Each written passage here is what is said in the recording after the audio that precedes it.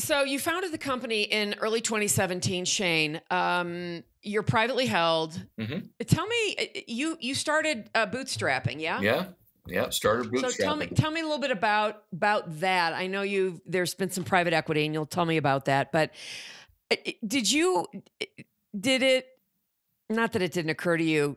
Did you have any desire to take institutional capital? no. Why Um, not? I mean, I, I've been, I, I've worked in private equity. I, I know what it, I know what happens, and uh, But- but sometimes, you know, you just, you just need it to to to be able to scale and do what you need to do. You know, it's um, it's uh, you know, it's just part of the part of the game. You know, depending on, you know, if you're if you're an entrepreneur and you want to, um, you know, build a business that, you know, where you're, you know, bringing in a couple hundred or a couple million dollars in annualized revenue and you know you Mhm. want to stay you know local you want to do you know that's fine. I mean you don't need to do that.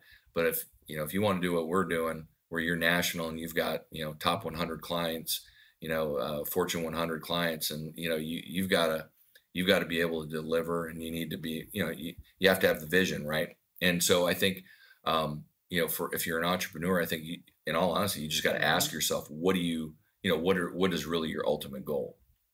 And then you make that decision. But i bootstrapped um, basically the first year um, and then uh, and once i once i was able to you know because i didn't even know if i was going to be able to get you know uh, providers to accept my contracts right? And then when all of a sudden you know i get CVS and all of a sudden i get you know all these other contracts i'm like okay this is this Mm. is viable right and so then um, then for the proof of concept which is i called the series a which really been more angel investing um, i raised a million dollars friends and family and then from Okay. there we um, once we proved the model um, we uh, we went and we raised a series b and that was private equity and so um, you know, we got we found a, a real good lead investor that had a lot of insurance experience. So we, um, you know, we were very strategic how we brought people in, and so that we're going to be on the board, investors. So we have a ton of people that are from the industry.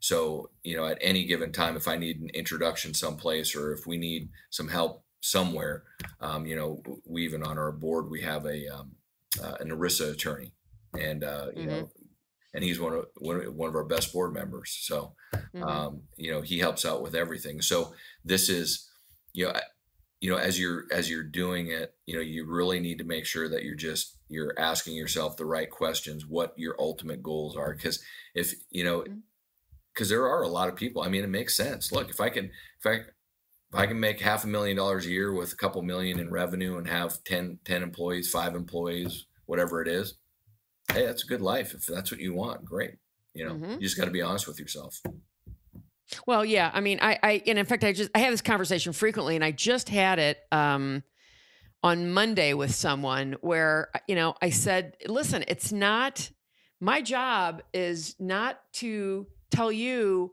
how large your company should be, how much money you should want to make. That's not my job to do that. My job is to ask you the questions right and help you get to where you need to get Yep. based on your answers, right? So I- I'm curious. How are you finding your prospects? Are you finding them? Are they finding you? Is it a combination of inbound and outbound? What does that look like?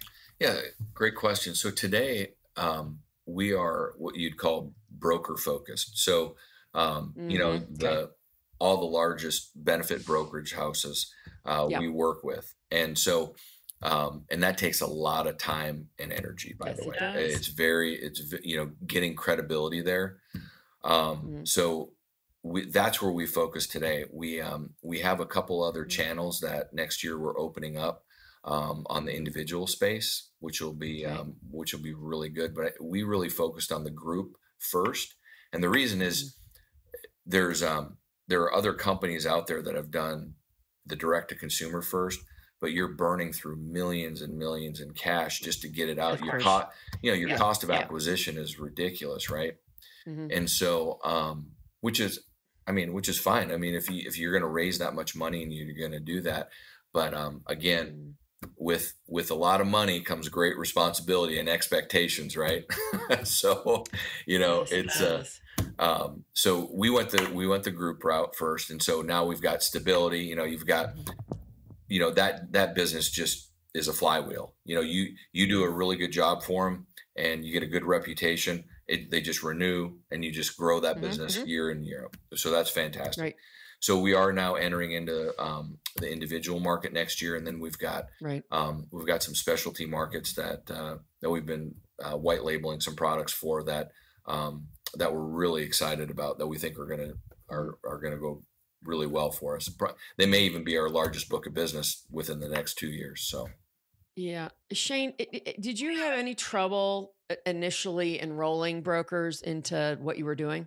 yeah, uh, so the large brokers wouldn't even talk to me because and the and here's the what the funny thing is, it's because I like wasn't SelectQuote, people like that, right? yeah. yeah. Well, because Yeah. because I'm not even from the industry, so they look at that Yeah, as a double right. negative, right? That of course. Yeah. And so uh, I actually worked with Aflac agents my first couple Mm. years. That's where really we got a lot of our cases, and then just small cases. So the Aflac people were, you know, were really good for us. But um, when we hired, um, we hired a guy that has 30 years experience and has a great reputation, and he really helped us with the intro into the, you know, the bigger brokerages and yeah. he had a lot of credibility and so that helped us a lot and that was almost three years ago so um so that was how we got in Yeah. Do, do you consider yourself an insurtech? yeah mm-hmm. You do. Okay. yeah yeah we've got a we've got a tech stack with um so we uh um, from our mobile app and then um Yeah. and then internal proprietary software Got it.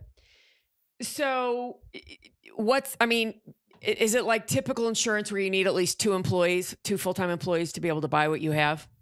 yeah so f- for us we need we need at least 25 enrolled today but with the new individual plans we'll be able to go down That'll change, obviously. Sure. Yeah.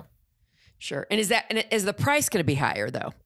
Actually, uh, That's what I believe it- wonder. believe it or not, no. I mean, the pricing that um, we're working with, uh, the carrier that we're working with, um, Mhm.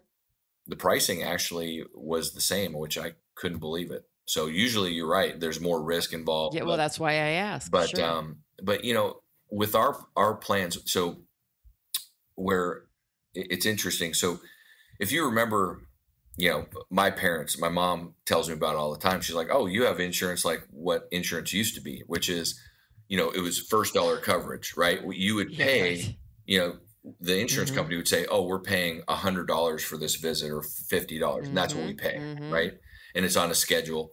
Well that's what we do is so so from a um and some of our plans so i'll give you an example. We um and we're different in the sense of you're it's called indemnity limited medical fixed indemnity that's how the indemnity plans.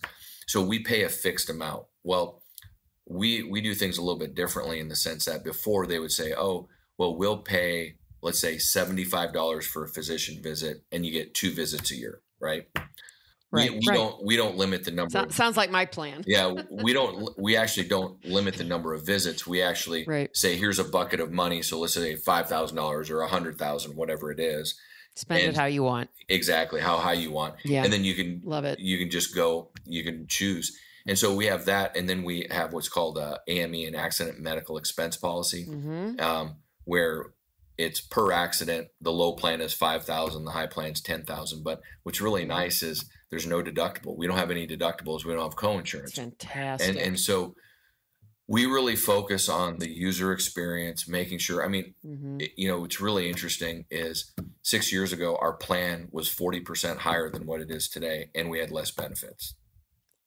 so we've gone the exact opposite we've actually lowered our pricing. all the other carriers. Yeah. Yeah. Right. and so our whole goal is really providing affordable access to care i mean you'll hear me say Yeah. that a million times and the reason is you know, we don't even use, I mean, we have access to an RX plan if you want a fully insured Mhm. plan, but we don't Mhm. recommend it. And the reason is mhm. we literally get the top 50 drugs for 40 of them, 40, yeah, 40 of them less than 10 Yeah. bucks. And then the other, Yep. the other 10, the last 10, we get less for 20 bucks. So why pay, you know, I agree. why pay a $10 copay for a generic that Mhm. costs $5? It, it makes no I, sense. I, I mean, I totally agree. I don't. I don't have it on my plan. yeah, it doesn't There's no. make any There's no need to. Carol Schultz here. Thanks for watching this excerpt from Authentically Successful. The conversation doesn't end there. So if you want to hear this episode in full and all my conversations with many other successful founders and CEOs, please visit verticalelevation.com slash podcast.